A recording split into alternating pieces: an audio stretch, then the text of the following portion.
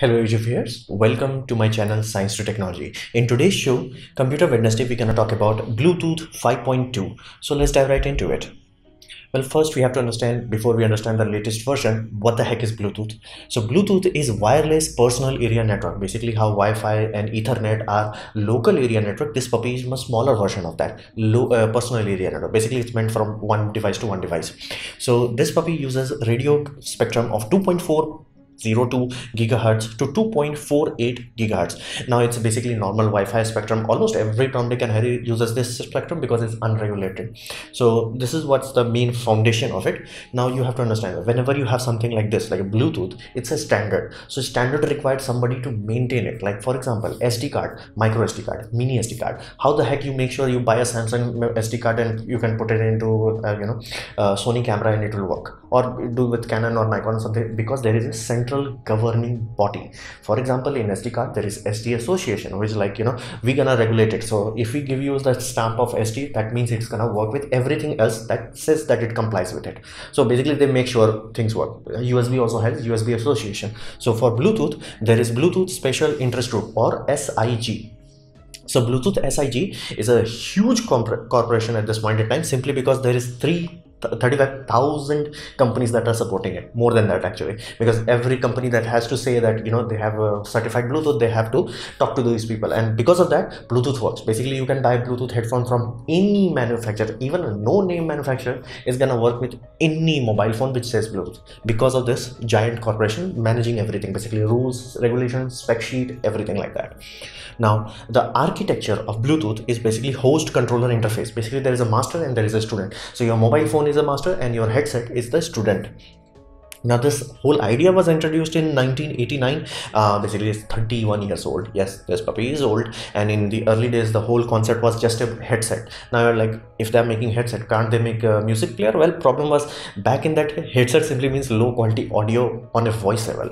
Uh, it was not good enough for like you know music listening. So only voice was the primary focus of that.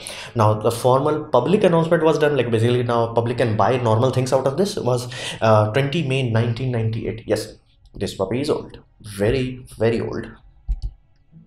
So you have to understand bluetooth has been going through multiple revision. Again it's old it's ancient at this point in time.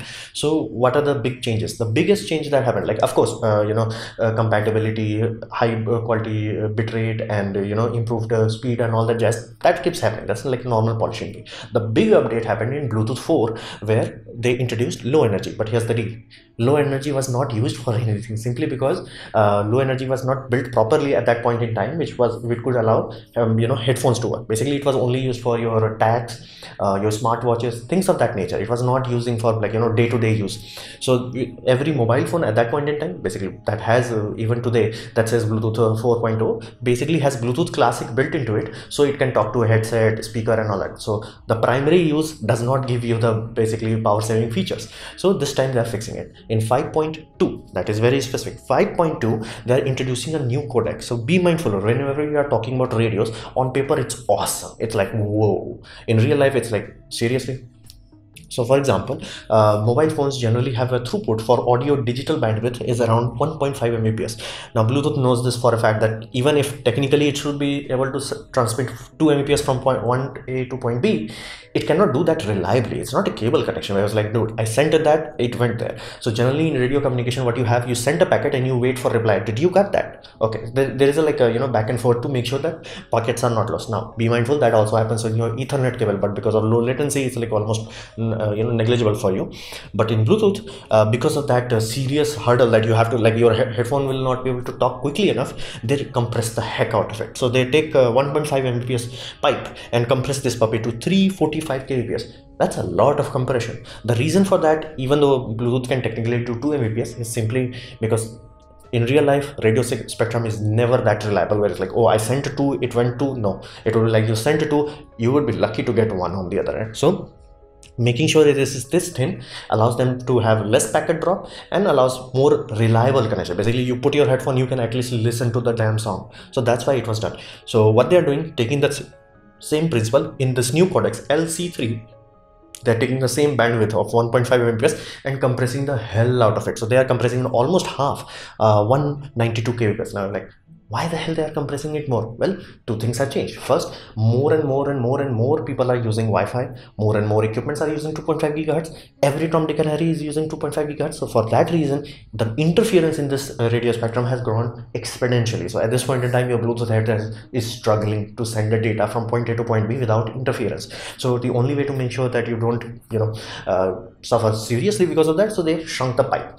Benefit of shrinking the pipe less interference less uh, drop packet. And lower latency because again it will not have to hey did you get the packet? Like again if it has to only say that let's say 192 time uh, did you get the packet? versus uh, you know 145 time it's like did you get uh, 345 times you get the point. It's like lower latency. Now because of advancement in processor silicon and all that jazz we have finally the technology so we can compress the data much more while decompressing it even more efficiently. Benefit of that uh, in every listening test they did the corporation did at this point in time they are getting people are getting higher fidelity out of 192 versus 345 basically they are compressing it more but they're getting better output. You're like how the heck is that possible? Like you know what kind of voodoo magic is that?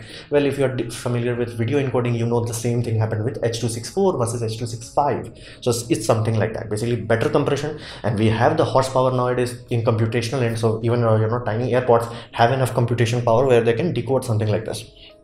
So that will finally allow this uh, you know lower bandwidth to be used with low energy. Benefit your bluetooth headset if using the current battery structure it should last for let's say you buy something right now and it says you know battery life in 20 hours it should go to 30 to 50 hours.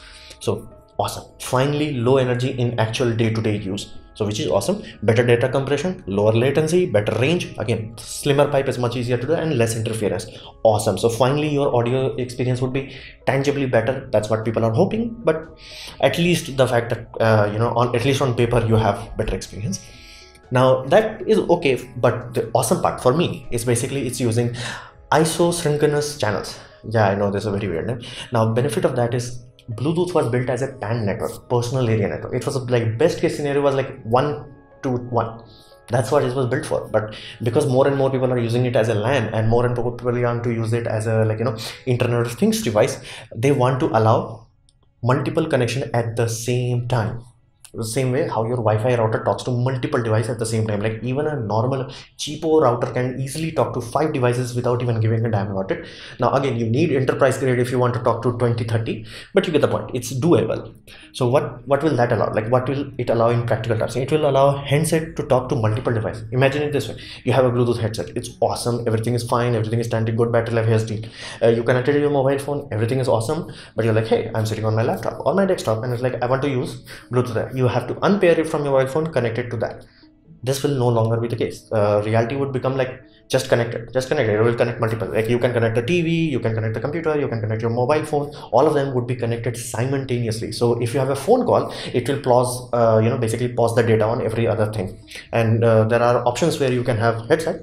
You can be like you know connected to your mobile phone watching your tv but the moment you mute the tv it will pick up the call if there was a call so that should become normal if your equipment uh, basically your headset and your mobile phone says 5.2 another aspect of that uh, two headset can be used or more than that can be used at the same time. Imagine it this way this is a tv now you live in an apartment most likely and you have a serious scenario where you do not use want, want to use speakers simply because every tom dick and harry near to you want to blow you up. Because again you know you don't want to start a, a very serious ruckus. Uh, you don't want to use speaker. Everybody wants to use headsets. Problem with that is you can only connect one. Like this awesome tv only one so this problem also would be also addressed. So where you can have one tv and it's like you know connect like four five however like depending on the situation you can have multiple systems connected.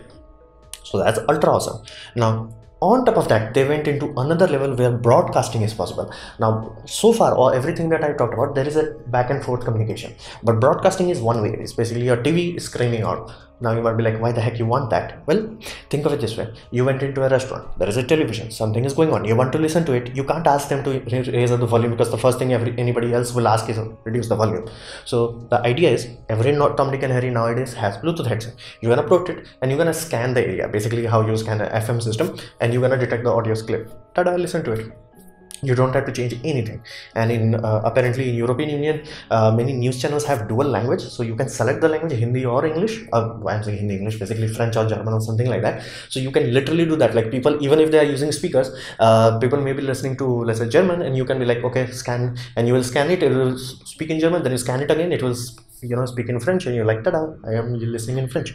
So that will allow like basically broadcasting would be possible. At this point you can't play pause. It that's why that that two-way communication is important. You can't do anything to the broadcaster but broadcaster can send data to you. And this this system is designed to like almost a theater can be run on on bluetooth headsets only. So that's the uh, you know possibilities of that. That's why this isochronous channel is very useful in day-to-day life. Like if once you start to use this technology you'll be like dude how the heck we lived without it? So that's the most amazing. Like audio good but again that is the same thing. Point of diminishing return you won't be able to tell like unless you are like i'm listening to flat sound in this uh, completely sounds isolated room you're not gonna tell the difference. This you will tell the difference so what we can expect in the future?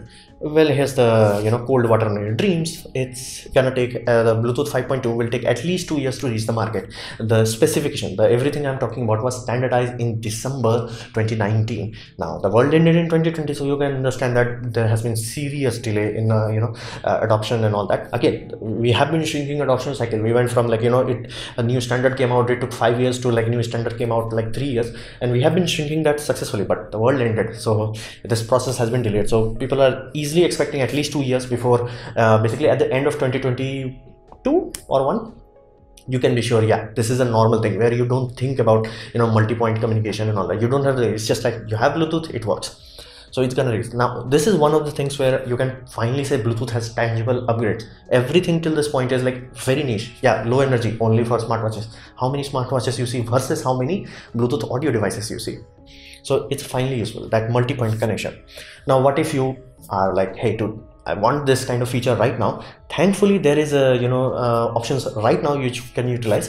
Basically, you can buy headphones or headsets that have uh, multi-point connection. Basically, JBL has a surprisingly affordable uh, multi-point system. Basically, if you are a single individual and like, dude, I have headphones, but I have a laptop and mobile phone. I want both of them connected. JL, uh, basically, JBL allows that surprisingly low prices where you can connect both of them so that's doable. If you want to do that you can do that easily. And what if you want like you know a married couple and all that husband and wife and you want to be like okay uh, you know uh, i want to use my basically tv to talk to two people. You can buy bluetooth multi-point transmitter where you can have at least two devices communicating. Like there are a more expensive version which will allow you to communicate to at least like you know four headsets but two is good enough for uh, you know normal couple. So if you uh, want to experience that multi-point should be the next thing you should look into your next purchase. And uh, you know multi-point transmitter if you have two people. So future is very interesting. And this is finally something useful. It's like yeah finally i can enjoy it. So awesome. I'm very excited about it but you have to be mindful. It will take at least two years. And the world ended in 2020 so i cannot be angry about this. So this was my presentation on bluetooth 5.2 I hope you liked it, learned from it. In that case, please click the like button, share it amongst your friends. That will help me a lot. If you didn't like it, didn't enjoy it, I urge you to press dislike, press it twice to show me extra disappointment, and please leave a comment because I try to reply to all of them. Subscribe, press the bell icon if you're free, and as always, thanks for watching.